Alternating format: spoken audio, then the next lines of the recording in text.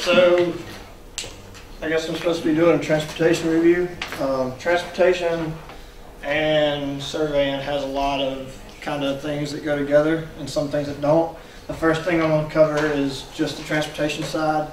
And if we have time, we'll go back and I'll hit a couple of like the earthwork problems and some of the layout problems as well. Um, first off, as far as the FE is concerned, there's two of the most important things I can tell you about the FE. Know your formula book backward and forward. Be able to turn to any page in it at any time you need to. If you see a problem, know what section it's in, be able to turn that section in your formula. That'll help you more than anything else on the test. Second, know how to work whatever calculator you're using. Um, so it doesn't matter which one you decide to use, make sure you know how to work it well. Um, that'll help as well. Uh, the first thing I want to do is cover a couple of equations that aren't in the formula book that were on my test. Um, and they're fairly simple equations that you should probably know. The first one is this DDHD here. Um, it's equal to AADT times K times D. What this is, the directional design hourly volume. Uh, if you're given an AADT, which is an average annual design traffic, um, then you multiply it by K and you multiply it by D. These are both factors that'll probably be given in the problem. If not, I don't remember K. I think K is 15%. Um, I know D is somewhere between 50 and 75 uh, percent. I'm pretty sure K is 15. If I That's remember what right. we. Yeah. Um, but what this is, AADT is your average annual daily traffic. Your K factor changes that into a design hourly volume or DHV. And then your D factor changes the DHV into directional hourly volume. The D factor is the directional factor. We kind of. I'll kind of go through a problem uh, with that too. So essentially what happened is they'll give you a K, or they should give you a K. We'll say it's 17%, and they should give you a D, and it's probably going to be 70, 75%, and then they'll give you an AADT of three, I know, 3,000. Um, you just multiply it out. I mean, if you want me to work through it, I can, but it's, it's simple enough. You just work, work through it out that's essentially what a problem like that will look like. And the only reason I bring it up, like I say, is because that formula isn't in your isn't in your FE review manual or FE formula sheet. So might be one you need to know. Another formula like that is uh, the peak hour factor. So you know what the peak hour factor is? Okay, that's enough. Um, peak hour factor, it's the PHF. It's equal to the peak hourly volume. This is peak hourly volume divided by the hourly volume. And I'll work through a problem like this. There's one in that book. I'm gonna work through a little later. But um, so now from this, does anybody know what the peak hourly volume is? This is just an addition of your traffic counts over an hour. Does anybody know what the peak hour volume is? So what you take here, if you're given, typically you'll be given traffic counts and 15 minute counts. Um, if they're not in 15 minute counts, you'll have to put them in them, but they shouldn't give you anything that's not in 15 minute counts. So you'll be given four 15 minute counts. So this would be like from 4 to 415, um, 415, 430, 430, uh, 30, 445, 445. So what you'll be given is a number of vehicles during each of those values. So your hourly volume is just this sum. That's the hourly volume. Um, your peak hourly volume is four times the peak 15 minutes. So in this case, it'd be four times 400. And that goes up there. And that's how you get your peak hour factor. Like I said, I'll work through an actual example in a second um, of a problem like that. I'll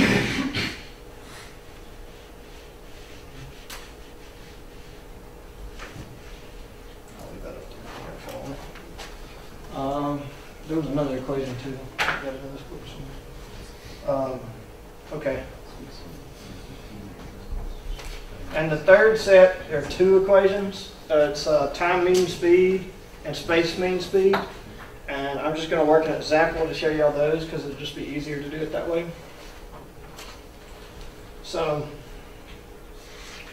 if this is what it gives you as far as an input, and it asks you to find space mean speed and time mean speed. So the space mean speed, the formula for it is uh, nd over the sum of t. So nd over the sum of t. This is uh, space mean speed. Uh, that's not how you do it. There's not really a good abbreviation for it, so.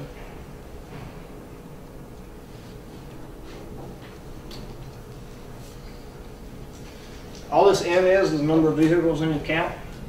Uh, so it's, in this case, four. D is the distance over the roadway that you're analyzing. It's given in the problem statement as one kilometer, which it'll be given more than likely in US units on the test. This book just does like this. And then over the sum of your time, which is 1.6 plus 1.2 plus 1.5 plus 1.7.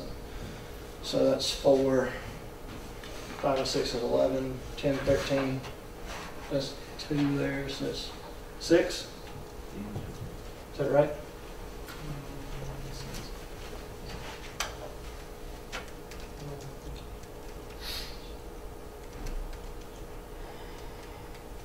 Yeah. So then your answer then just turns into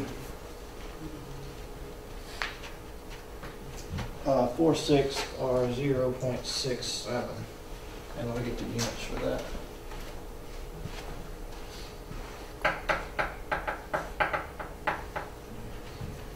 Uh, What was your D? D is the distance. It's given right here. The distance of the roadway you're analyzing. It's- yes. in kilometers? It's in kilometers per minute here. Um, it could ask you for kilometers per hour, then you just change, change it from hours to minutes. But like I said, it'll probably be in English units on the test. This book just happens to be in metric. I don't think I saw a transportation problem on my test that wasn't in English units. So. And I know that all the formulas in the book that it gives are all English formulas. So I wouldn't assume any transportation problems would be in metric, but it could be. And then the other thing that you can get is time mean speed. And that formula is similar. It's the sum. Uh, this is time mean speed.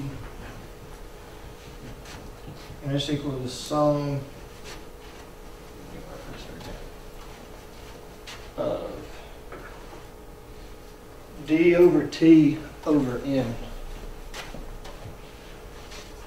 So that's the sum of d over t all over n. Uh, that's time mean speed. And those are the four equations that were on mine that weren't in the formula book, so might be useful to put to memory. And I can work through this one too. You got d over t, so your distance is one, so you just have the inverse of your time here. It's 1 over 1.6 plus 1 over 1.2 plus 1 over 1.5 plus 1, 1.7 is 2.713 over your N is four.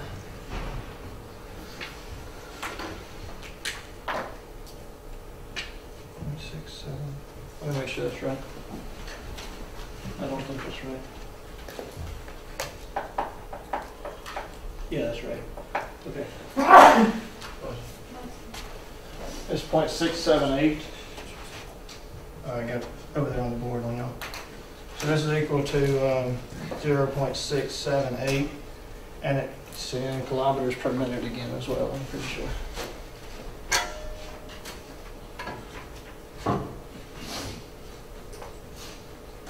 Yes, it's in kilometers per minute.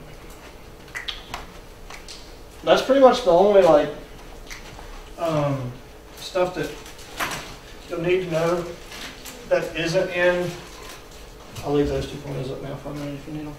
Uh, that wasn't in the formula book. Everything else is pretty much straight off when I'm looking at some factor or another. Um, I do want to cover this real quick before we move on. These diagrams are extremely helpful and you can see them, in- you can see them in a couple different ways. Um, One, they could just give you, they could give you anything on this diagram really and ask you something about it. Um, They give you th- these three diagrams, but not label what they are. Um, They'd have to label like one of these, and they wouldn't label this as flow or something like that. They would give you, say, the density here is this, um, and they give you that value, but they go, what is this value? They could do that. Um, they could ask you to compare the, the graphs, which if you look, this is flow to density, flow to speed, and then density to speed. So they're all related. It's just a matter of um, working through the relation. There's an example of that in this book on one of these pages, if I can remember. I've got it. I've got it on one of the problems. I'm going to work if I get time to it. But it's not necessarily as important as the other two that I told you. Um, now I'm, I'm just going to work through some problems now. Um, I clicked the wrong button. That button. And then once I finish working through a couple problems. Uh, So th- this problem here relates to the last equation that's not in the formula book that you might need to know. It is, but it's a special case of that equation. Um, and that's the stopping sight distance equation. So what you need to know is if you look in your books, on your formula books or whatever, it gives you a stopping sight equation. This guy's for braking distance. Um, what you need to know about your stopping sight equation, I'm fixing it on the board over here. It's S is equal to 1.47 V T um, plus V square divided by 30 times A over 32.2 plus or minus G. Okay, so that's the stopping sight distance equation. It's in your formula book. What you need to know about this is, this is what's called decision sight distance. Uh, so this is the distance it takes a person to actually make the decision to stop or to press the brake or anything like that. It's also considered reaction time distance. And they're the same, same ordeal. Um, so this is decision slash reaction. And this one is braking sight distance. So this is how long it actually takes the car to brake once you start braking. Um, what this what this equation leaves out though is if this is your initial state, it's minus v naught. Uh, this would be v naught. This would be v1. The reason it leaves it out in that equation is because this is zero whenever you're considering stopping sight distance. If you're just wanting braking distance, then this is your second speed. So that's what we have to use over here. Does anybody know what A is? Does anybody know uh, what T is? Because that is typically a value that's supposed to be known and probably won't be given. If it is, it might be given in the first like couple pages of the test. T is two point five and A is eleven point two. Okay, that's right. So typically, unless it's given otherwise, use A as 11.2 and T as 2.5. Uh, this is seconds, and that's uh, seconds per foot square. I think I'm not really sure. Uh, all it is is a gravity factor. So what we need to do for this problem, you can get rid of this, you don't this part. So this is only really equation that we're, that's our braking distance is governed by. So we come in here and we see that a car hit the wall at 35 miles per hour. So we know that's the final speed. We know that it traveled 60 foot on gravel before it hit the wall, and it traveled 30 foot on pavement before it hit the wall, going at that speed. Uh, well, and it ended at that speed. It wants to know the initial speed on the pavement. I should have put that on.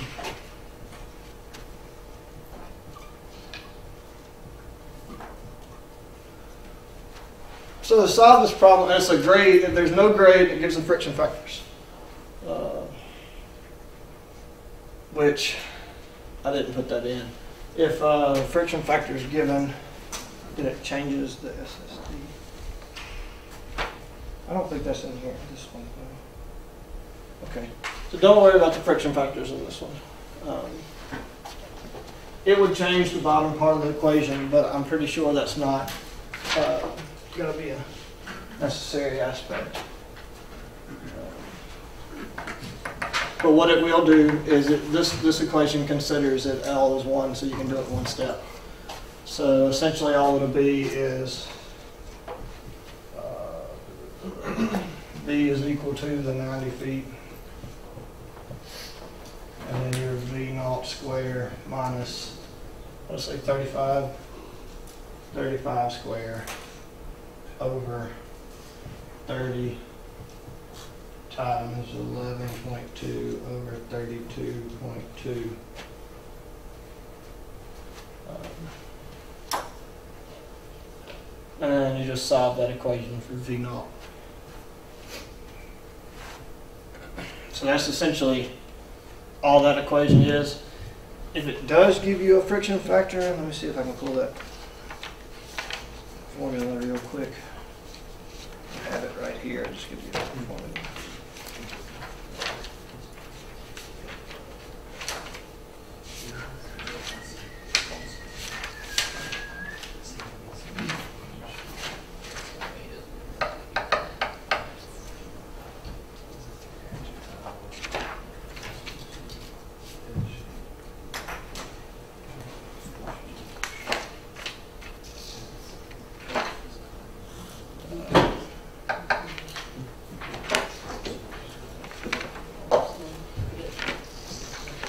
This shouldn't be an aspect, don't, don't worry about it giving you a friction factor, just be able to do the, you know, V square.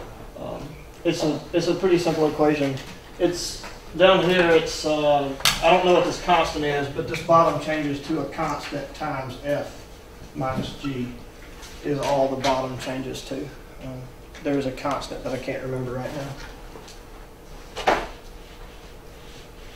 Do we use T? You don't use T in that equation. Okay. Because it's a braking sight distance. Uh, if it asked for decision sight distance, you would use T. Uh, because decision type sight distance is the, uh, one, one point two five, it's the first part of this, braking four seven VT. So decision sight distance, one point four seven VT, and then the braking distance was the other part of the equation. So you just split the equation in two.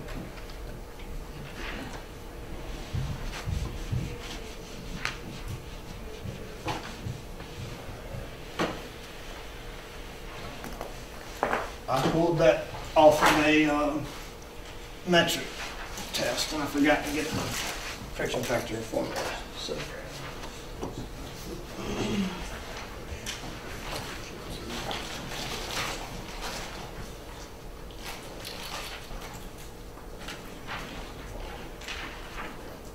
okay, so I'm just going to do it this way. Oh, wrong one.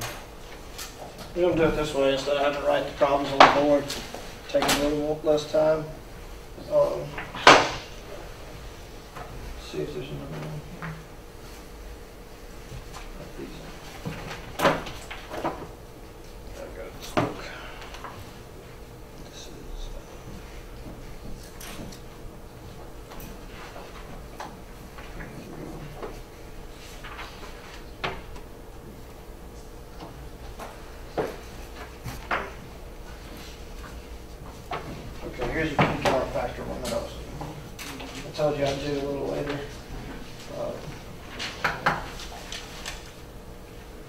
So this equation is, oh, you can't.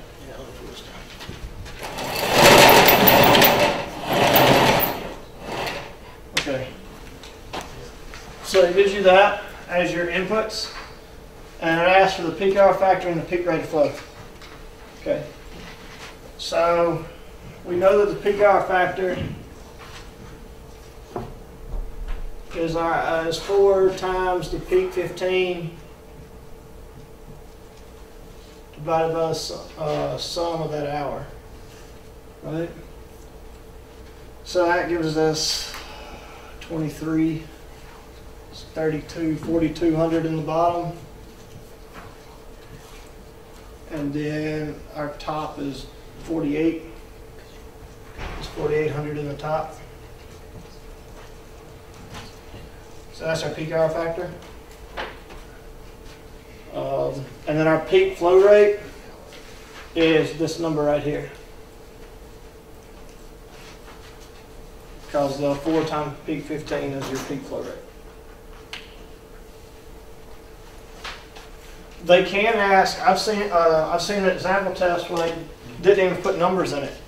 They just said, um, the question stated, what is the top factor in the peak hour factor? Uh, what is the numerator in the peak hour factor equation? So it's just four times the peak 15.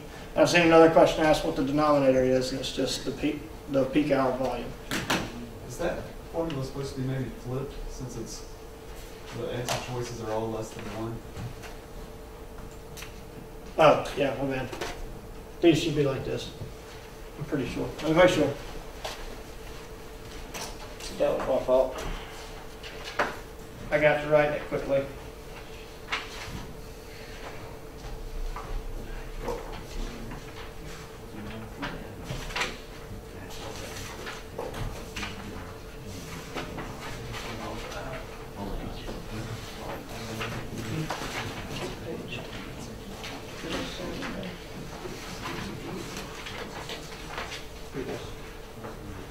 Peak hour factor is on this page. Yeah, I had it backwards. That's my fault. That was my fault. It should be reversed. Uh, the sum hour should be on the numerator and four times peak hour should be on the bottom. Peak fifteen. That's my fault. Thank you for catching that. I'm trying to run through a lot of stuff really quickly. It's hard to keep up. So this is four times peak. Fifteen, this is sum of the hour. This is forty-two hundred, and this is forty-eight hundred. And then forty-eight hundred is still the answer to the second question.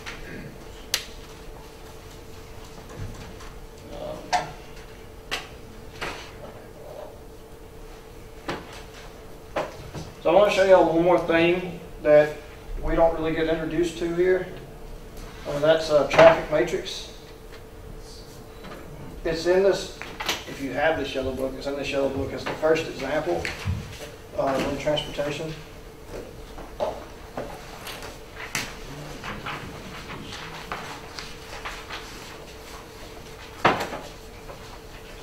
This is traffic matrix. Uh, Essentially, we just, um, most of the time we don't actually cover traffic matrices. So what we'll do is I'll explain how to actually develop a graph from that. Um, Essentially, what you do is you look at this as your uh, two, this as your, well, this is your from and this is your two. So you're coming from one to one, there's no link. You're coming from one to two, there's a link. So if I draw six nodes on the board, uh, this is one, two, three, four, five, six. And you read across from one to one, there's nothing. From one to two, there should be a link.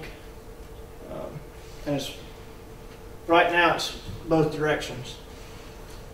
So when you first draw it, it's both directions. From one to three, nothing. From one to four, nothing. From one to five, and from one to six, there's a connected line.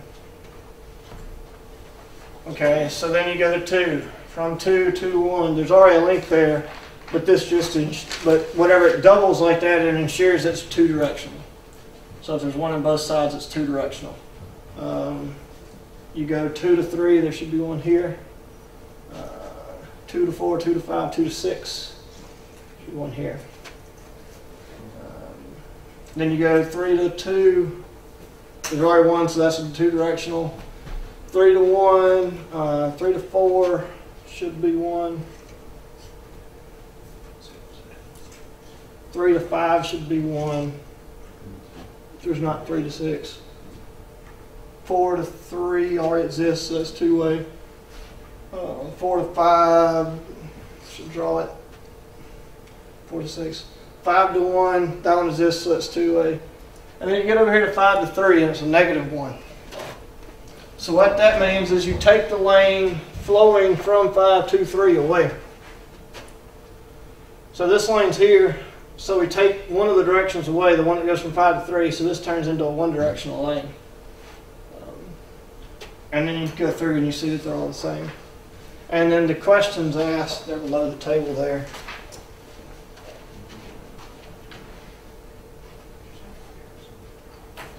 Uh, the first one asked the total number of bidirectional links in the network.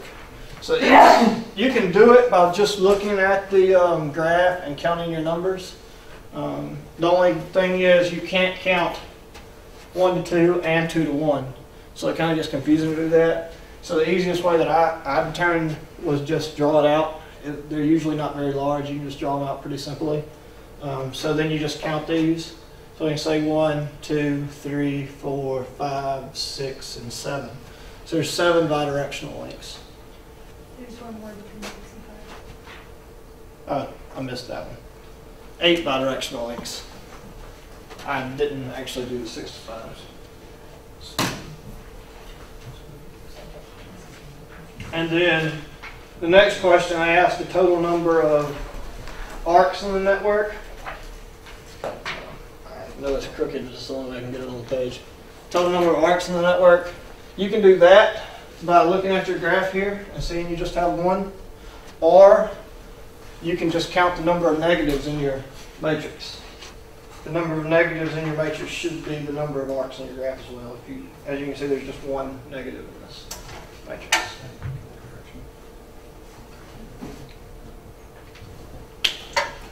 Um, Is there any confusion about that? That's kind of a new, it's just a different way to look at a traffic network. Can you run through that one more time, please? Uh, run through actually drawing it or just figuring things out? Your bidirectional links for your matrix. Okay, the bidirectional? Okay, so whenever you draw the network, you start. This is the node you're coming from, this is the node you're going to. So you go from one to one, there's no link. From one to two, there's a link. So you just draw a link there. It has no direction. It, it's a link there, and you assume bidirectional whenever you first draw a link. Um, unless it's a negative, and then you can go on and discard one direction. Um, usually the negatives are down here though. You, so you go one to three, no link, one to four, no link, one to five, something exists, and one to six, something exists. You go down here, two to one. Well, you already have one to two from this. Two to one just ensures that there's a link in the other direction. Essentially, when there's a one, it tells you there's a link from that node to the other node. So that's a one directional link. The only way that I, reason I say to draw it bidirectional as your assumption is because when you get here, you don't have to do anything. You don't have to worry about throwing multiple arrows into your graph. You can just assume it, and then whenever you hit a negative one, you can take one of those arrows away. And the only time you'll ever see a negative one is if there is a link that exists there, but you can't go in that direction. So like five to three, there's a link between five to three, but it's one directional, and you can only go from three to five. So when you draw a link, is it automatically assumed bidirectional? Or like, let's say you just drew two. That's the way I do it, just because it's easier for me to do it that way. Technically, whenever you draw a link from one to two, it should just be a one directional link from one to two. Um, but, but if it's not bidirectional, then this will be a negative one, and you can get rid of it there. If that was a zero, then it would still be. It won't be a zero. Uh, if there's a link there, it'll either be one or negative one. Um, I see. Okay. The only way it's a zero is if there's not a link. So all the zeros should have a corresponding zero on the opposite. Yes. So like four to one, one to four. One to three, three to one. If you can find something that disproves that, tell me, but that's the way I learned it. Uh, So, If you have more than six, this, this is the way you actually draw it out, it's acted. I doubt you'll have one that large. If you do, um, you can do it just looking at the graph. Just make sure that uh, you just count like one to two and two to one. You don't count both as a bidirectional link because one's one direction, one's the other. That's pretty much the only way. There's not really a formula that I know of to calculate it based on a matrix. I'm sure there's probably one out there, but I'm not sure what it is. But every the only one I had on my test, I had one of these on my test, and it was a four x four. So, I mean, it was smaller than this one. So you know where that would be one, two, four, three. One, two, three, four, however you want to label it. It doesn't matter. It doesn't matter where your nodes are. The only thing you're counting is number of links. Those are those are the only ones that really we've never seen before that I've covered. So now I'm just going to kind of go through some of the examples that we have seen just to make sure refresh memories. Um, I have a bunch of them chosen, but I'm only going to cover a couple of them because of time and everything. So we'll go with number 17 in this book.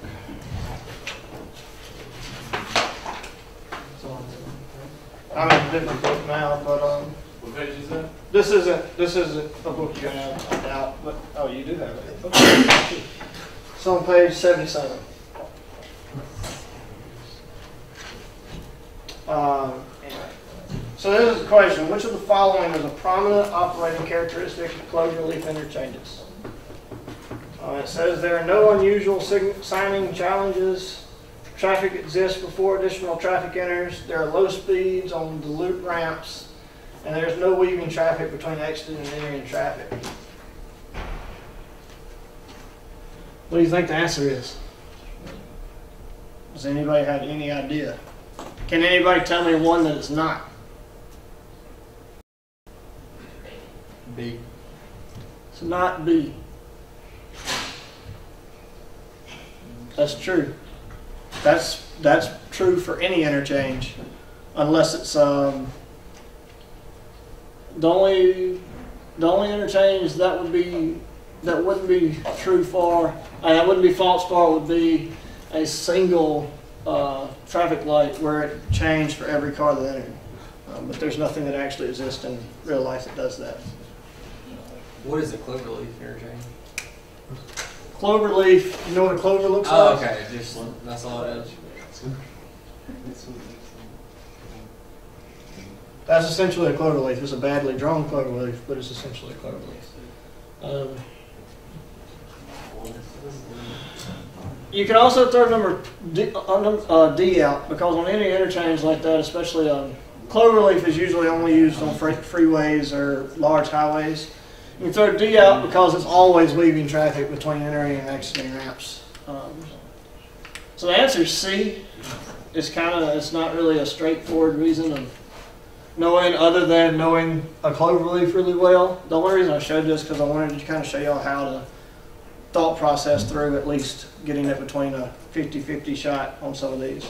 There wasn't but one of these on my test and it was really simple. It was asking about a, um, I don't remember, it was some type of intersection and it was a simple one. So it shouldn't be that difficult, but I do want to show y'all how to um, think through kind of eliminating a couple of the probabilities or possibilities. Um,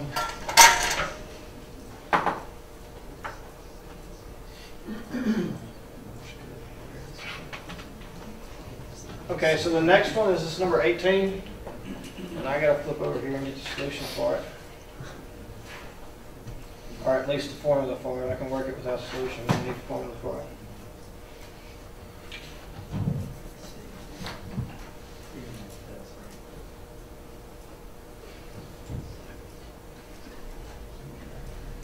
Okay. So this kind of went back to that that I was telling before when they gave us the F factors. Um, The A value that we said is typically eleven point two. The formula for A is F times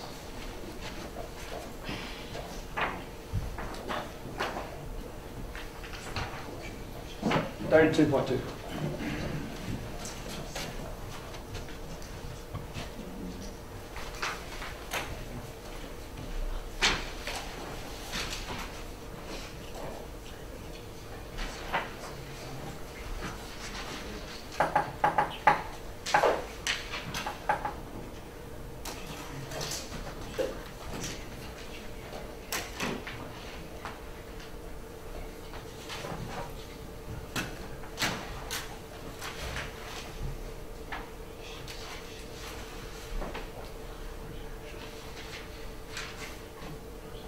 Oh, okay.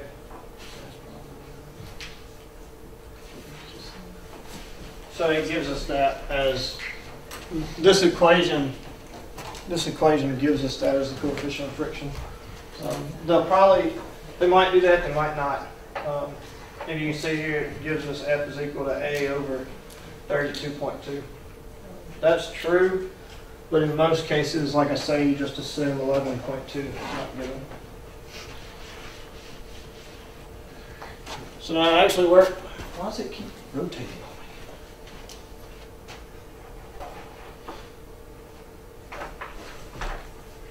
Okay, to actually kind of work through this problem.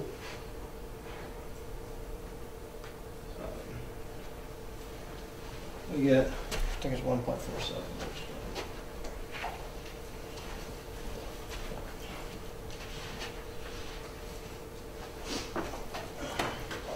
So we end up with the stopping sight distance of one point four seven times the velocity. I'll just write it. VT plus V squared divided by thirty times A over thirty-two point two plus or minus G. Okay, so your velocity now is one point four seven times, I think it's fifty miles per hour. And it gives you a driver's reaction time, which is T of one point five. And you add that on to fifty square, divide by thirty times, it tells you the formula A over thirty-two point two is equal to F, and then gives you F of zero point six five. And then it gives you a grade, a downgrade of ten percent, so that's a negative negative ten percent. So you use negative, um, negative ten, make sure it's, make sure I don't have to use a decimal point. Some of these equations you do, and some of them you don't. Uh, You do, okay. So, in this equation, whenever you use this equation, if you're given a grade, you have to use, uh, the decimal form of your grade uh, which essentially, if you just wanted to remember it this way, is the G you're given over 100. Uh, does that make sense? Some, of- some of them, this value actually takes account for that.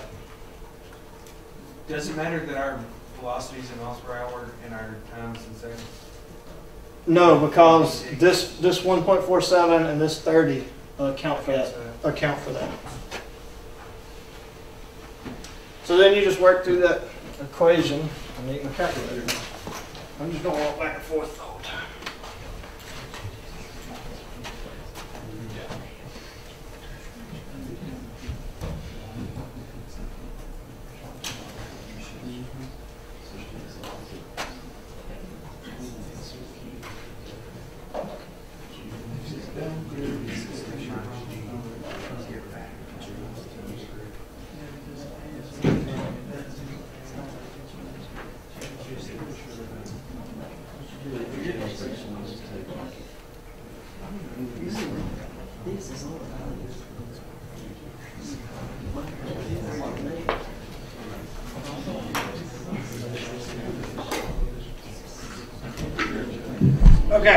so that's the stopping sight distance. So that's the question that this one asked, was what, uh, what is the distance required to stop, right? And This question could have asked two other questions as well. It could have asked, how long does it take the vehicle, how far does the vehicle's braking distance? Uh, Braking distance is just this part of the equation. It also could have asked, what's the decision sight distance of the driver? In other words, how, how far the car travel, travels before the driver decides to put his brake, foot on the brake. Um, That would be this distance. So it could ask for any of those three. Just be aware. And if it asks for the, this one, don't even worry about calculating this. All you have to do is calculate this out. Uh, if it asks for this one, you don't need this. You just calculate this side out.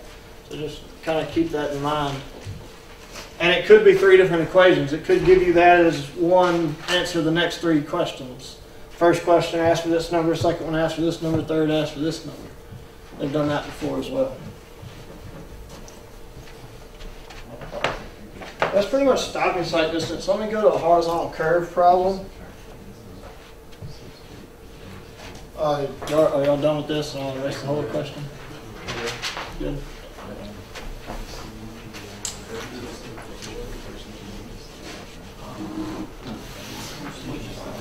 Let me find a horizontal curve problem that I have in here quick.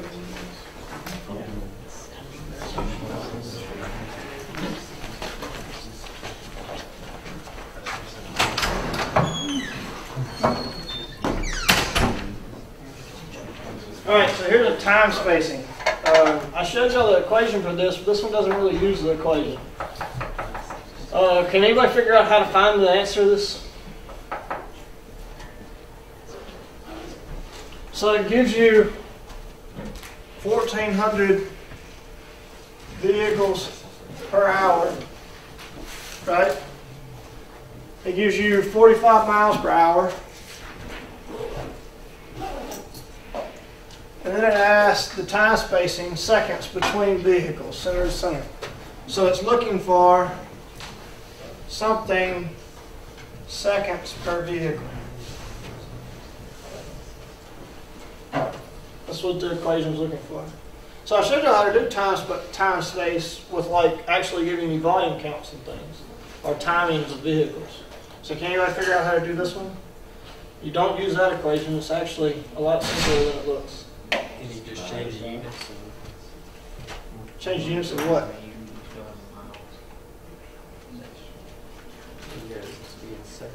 How many seconds are in an hour? Three, three thousand. 3,600 seconds per hour divided by 1,400 vehicles per hour.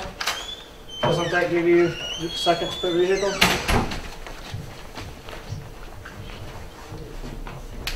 So you don't even need the 45 miles per hour there. They just give you that to kind of throw you off.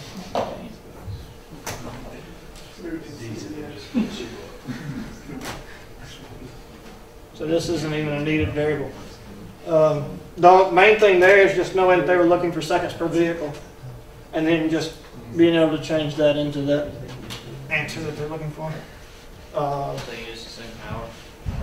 well, you you know that this one's vehicles per hour. It gives it to you here, so you just cancel your hours out and use your seconds.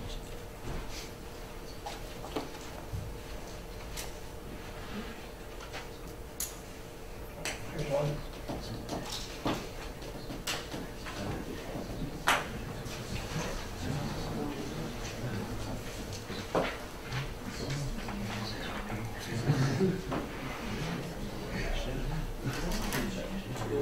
Okay, so that's it for this book. Looks actually- All right, I'm gonna go back to this book now. I think most of y'all have this book, so if you want to pull it back out.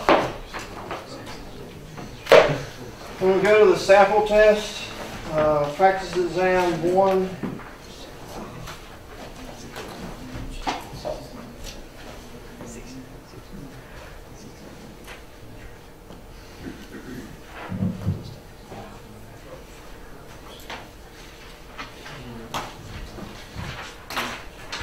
So we're gonna do number thirty-five. Does pretty much everybody have this book? Does anybody not have it? Okay. I was just gonna leave it up here if somebody didn't have it, otherwise I'm gonna take it with me and work the solution out of the book. Um,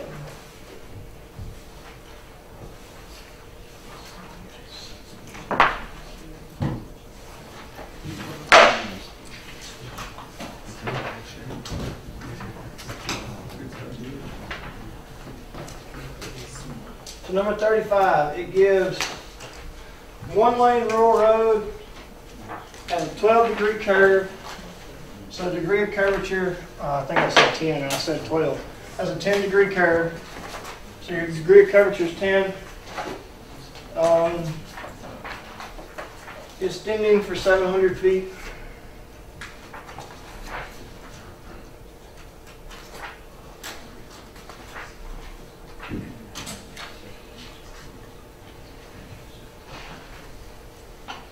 Uh, the speed is 45 miles per hour.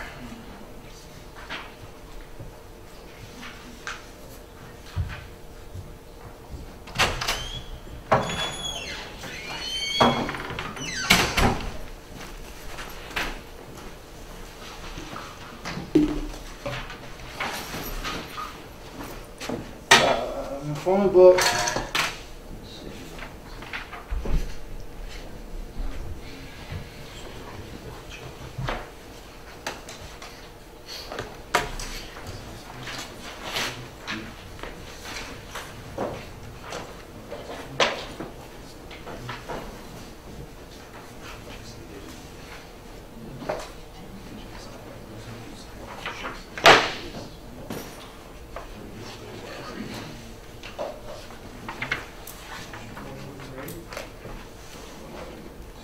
I don't know why that's good. Okay.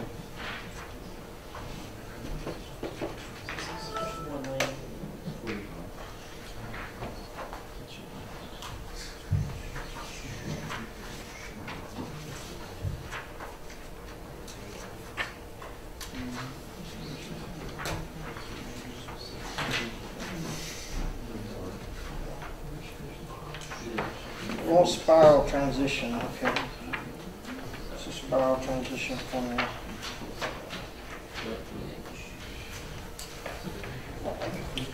So the spiral transition, what we're looking for as formula is LS is equal to 3.15 V cubed over RC.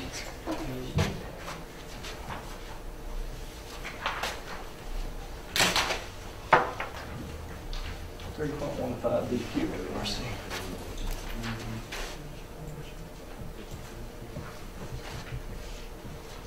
And it says C use one unless otherwise given. And This isn't D here, it's B.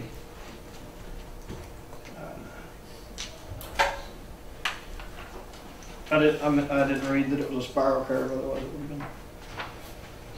Otherwise it would have been, um, D.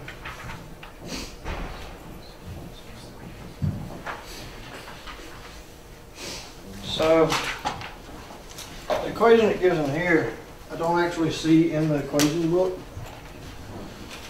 But R is equal to Over phi, where S is the um, curve extension, and then phi is equal to degrees in radians is equal to the curve degree in radians. So it's going to equal to, what's that, 700 divided by 10 times pi over 180. I don't see that formula in your formula book. Um, there is this formula. So this was in the old formula book. So they may not actually ask you to find the radius on a question like this. They may just ask you to find the uh, length when given a radius. But this actual equation uses this to find your radius, and the radius was given as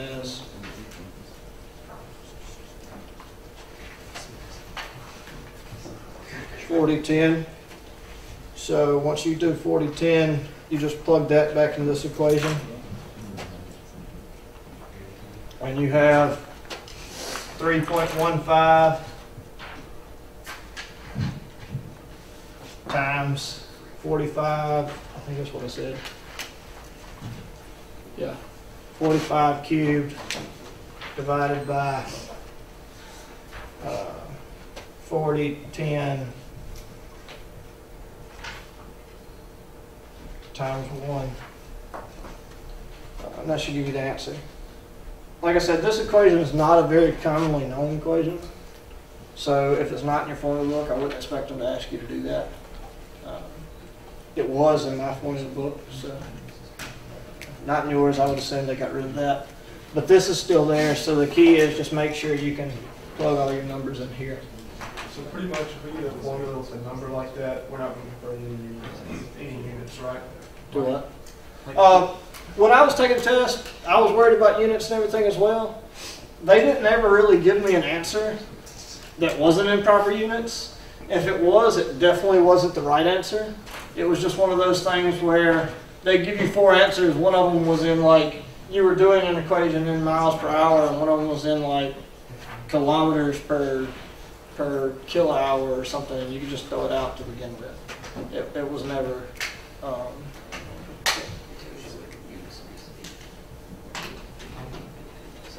Oh, as far as putting them in the equations? Yeah, you should, yeah, I'm pretty sure the formula tells you what, you know. Yeah. Um, But like I said, they they weren't ever really tricky with it, um, on my test. Like, they give you a number.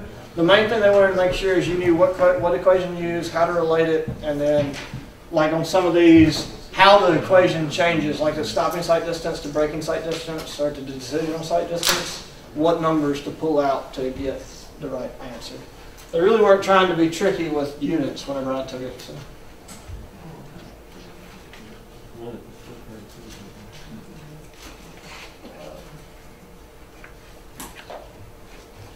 Try and find a good one that's just a simple curve.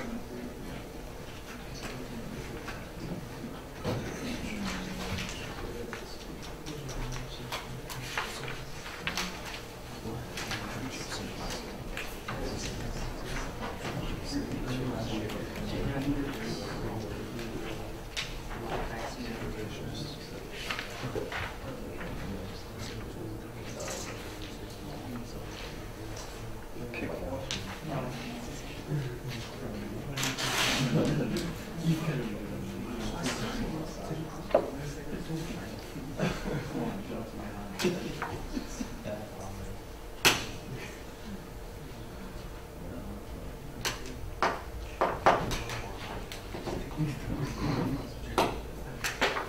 Okay, so that's pretty much all I'm gonna do out here.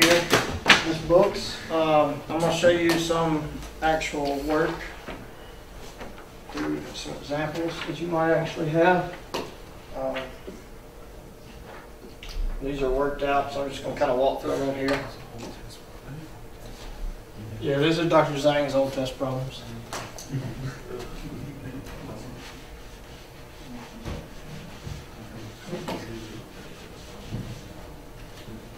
Uh, I'm going to kind of point out the points that you need to know and the points that aren't really that important on them. So, if you notice in your green book, I mean in your, um, going back to Geo, I said green book, in your uh, reference manual or whatever it's called, that it gives you a vehicle signal change interval where it gives you all uh, yellow time and all red time, which are these two equations right here. So this is uh, yellow time and this is your all red time.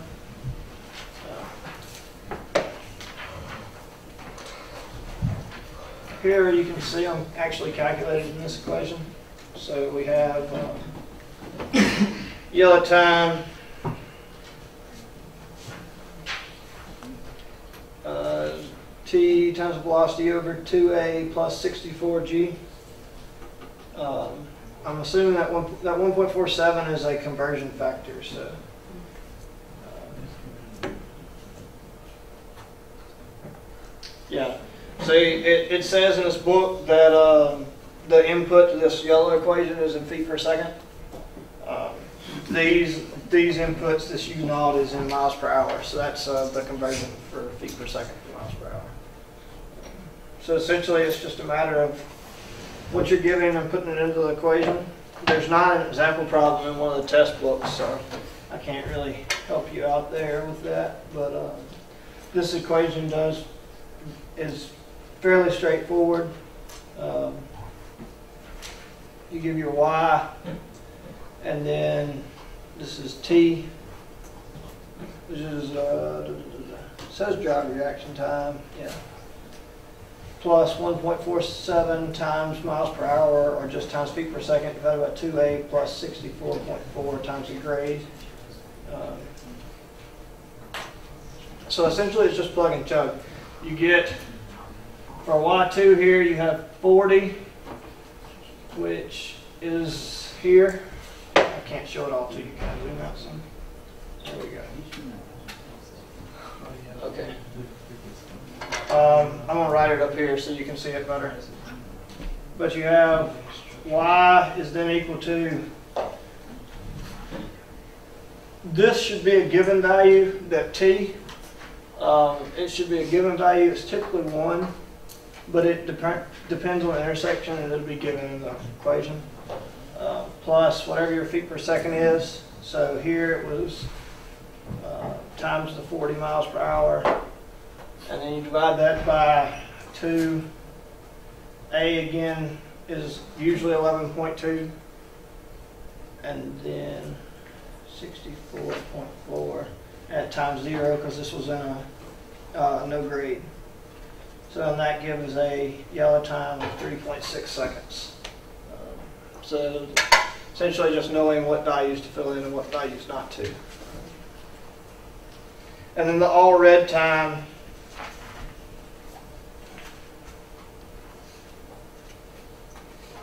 is equal to W plus L over your speed. So your W is the width of the intersection from curb to curb. So the key here is your W changes if your intersection width changes for each direction. So east to west, your intersection width is 24. North to south, your intersection width is 20. So that's, that's why that number changes. So your AR two, which would be here, it's considered north to south. Then you have, okay, so let me, let me clarify this too. If it's asking you for the alt, for the red distance on the north to south direction, what intersection width should you use? There's two widths. There's 20 foot and there's 24 foot, and we're going this way. What width should we use in the formula? What's the answer? 24.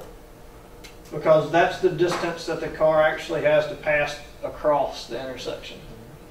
Um, so in the first part, going north to south, you're going to have W is 24 plus, uh, what's it say is, length of the vehicle. That'll be given as well, and it gives that as 20 in this equation. And then divide by 1.47 times 40 again, because it's in miles per hour. Uh, well, no, 20, oh bad, I was reading the wrong one. Because that's the speed of the north to south. Does everybody understand that? I mean, it's essentially throwing in, the only thing you need to know is whenever you're across an intersection, you want to use the distance the vehicle actually has to cross in the equation, if it's two different widths. Um, That's really the only trick to those two equations.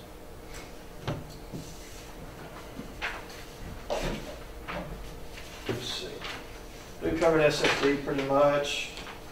Um, There's no need in covering green times beyond that. Uh, SSD.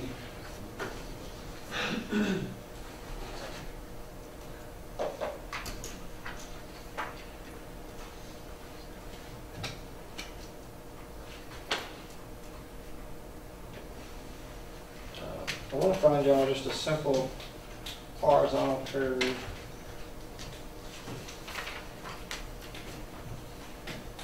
Uh, Okay, so here's one. So this is a sag curve. Um, has an initial grade of negative four, a final grade of positive three, uh, length of 1270, overhead guide sign is being placed directly over the PVI Uh, And at what speed limit can the vertical curve be operated? So this is asking for speed V. Um, So to check this, you have to check your stopping sight distance. And to do that, you have to use your length equations that it gives you on page 163 of your formula book. There are one, two, three considerations for sag vertical curves. Um, And it tells you in this problem to assume that L is greater than S.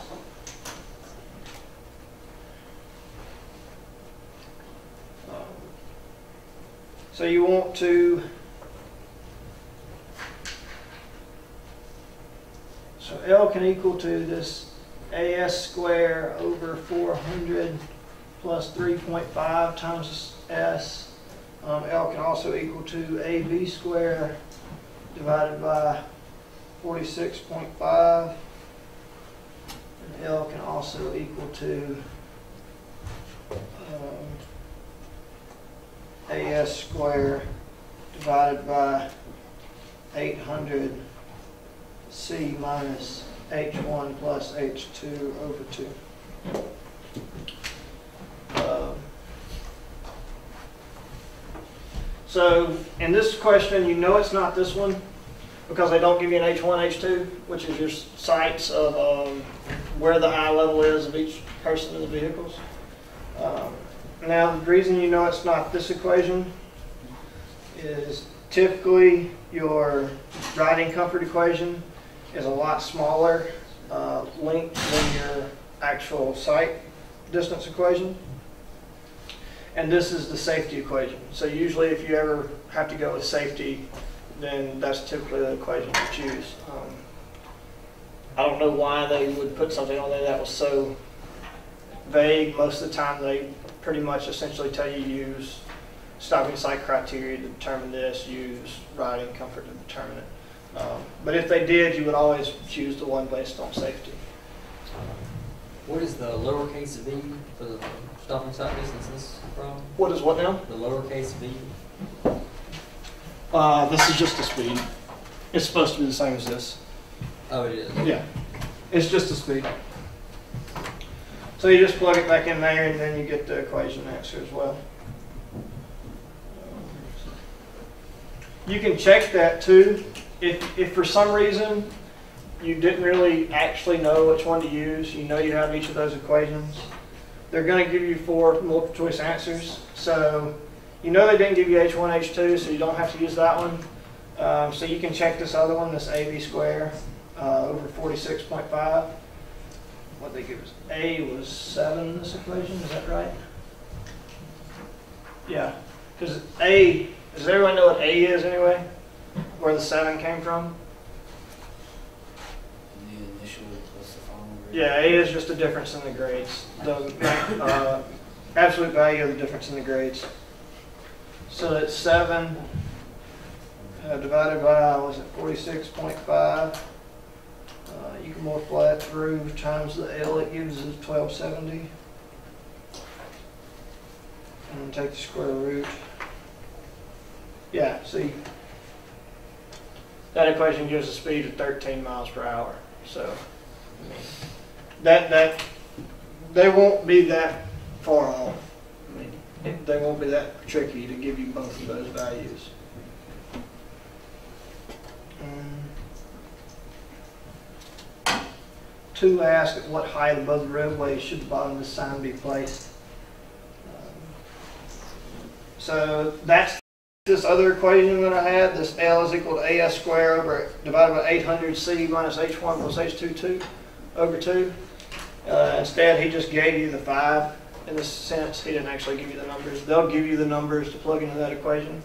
And you just plug them in um, and then solve for C. C is your overhead distance. So that's that's essentially a, all you have to do for a sag curve. Um, are there any questions about sag curves? Uh, you just kind of run through the equations and crank and turn.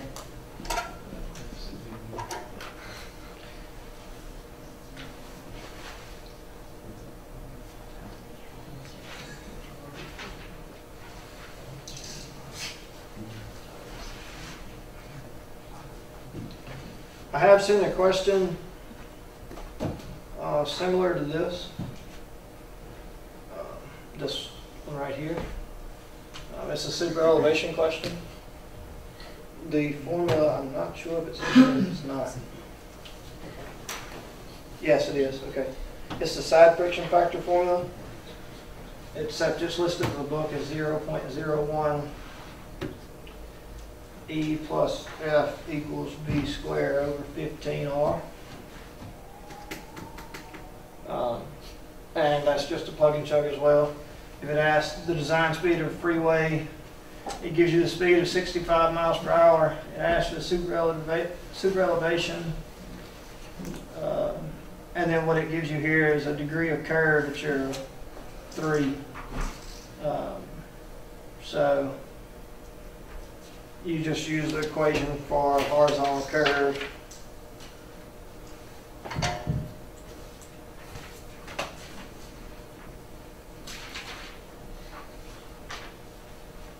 Which I think, yeah, which is this first R equals fifty-seven twenty-nine point five eight over D. This equation right here just simplifies to that.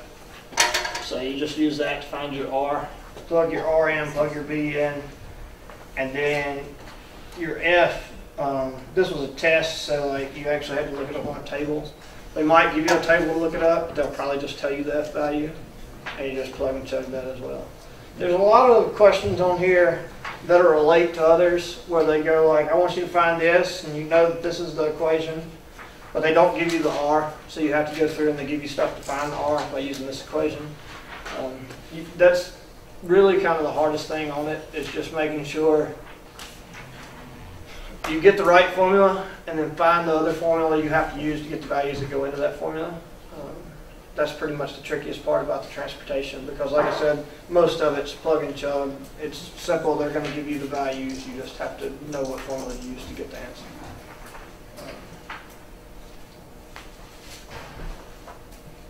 The horizontal curve equations are fairly simple. I'm, can't find a good example of it for y'all. Um, I'm sure there is one, but I, I got one in my notes, but I couldn't really find one. Um, but they're pretty much just listed here. Like I said, you just plug a number in and go with it. Um, D is just the degree of curvature. It's, they're all listed up here. Um, you only have to use one of these equations, just depending on what equations are given.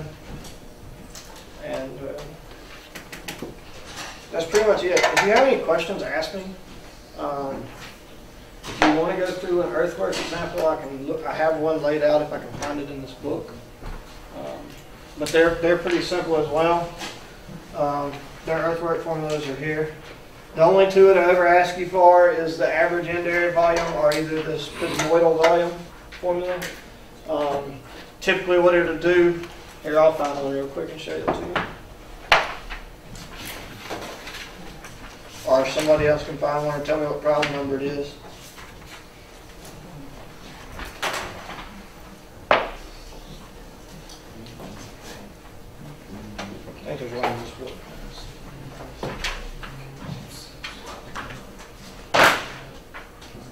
Yeah, here's one. Okay. So essentially what they're gonna do is they're gonna give you a table like this. Um, it's gonna be the station number and the area. It's gonna tell you to calculate the, area between stations four three five and five six five. So all you're gonna do, if you use the end area method, which is this equation, which is uh, V is equal to L times A1 plus A2 over 2. So you're just going to add the area for A1, which is 435, which is 322, to this 418. You're going to divide it by 2, and you're going to multiply by the length between those two stations. That's fairly simple. Uh, the next one is the prismoidal. Uh, you're going to take the length between the two stations and multiply it by A1 is this area. A2 then is this area, the 418. No, A3.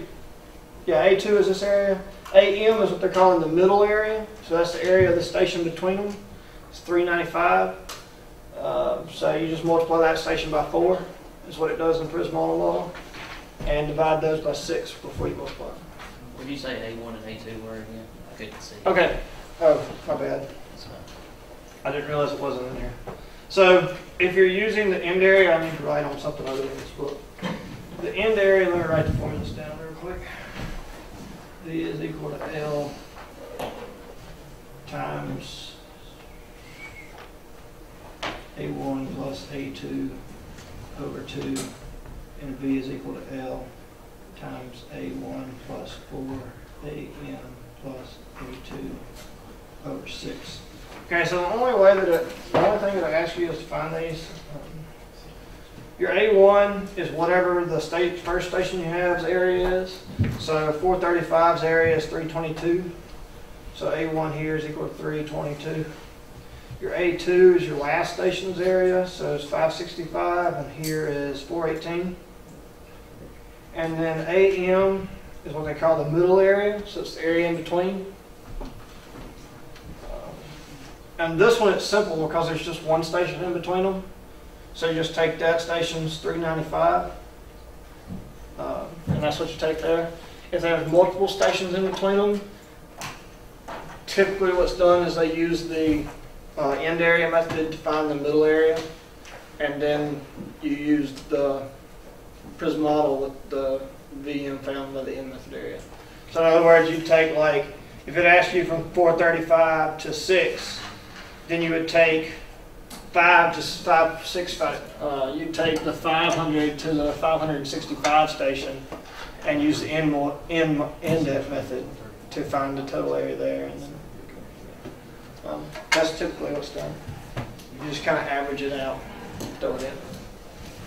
But most, most of the ones I saw, there were three stations. They gave you a first station, the middle station, and the end station. Um, And that's all you really had to do. So.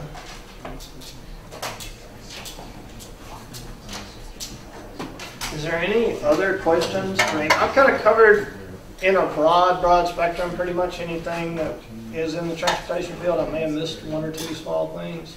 If you have any specific questions, ask. Um, I'm in my office, I won't say most of the time, I'm in my office a lot of time, I stay pretty busy, but my office is, um.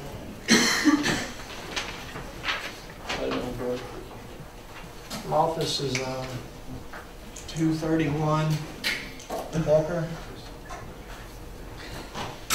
I'm at the desk by the microwave. Uh, If I'm not there, leave me a note or something. I can come by later, I'll get it, and then my email is, uh, so if you have any questions, you run into a problem you can't figure out, ask me. If I can't figure it out, I'll ask somebody else. Uh, is there a problem any of y'all just want me to work through out of the book that you've had trouble with? If not, I'm done. I'm hot and ready to go. Thank you. Thank you very much.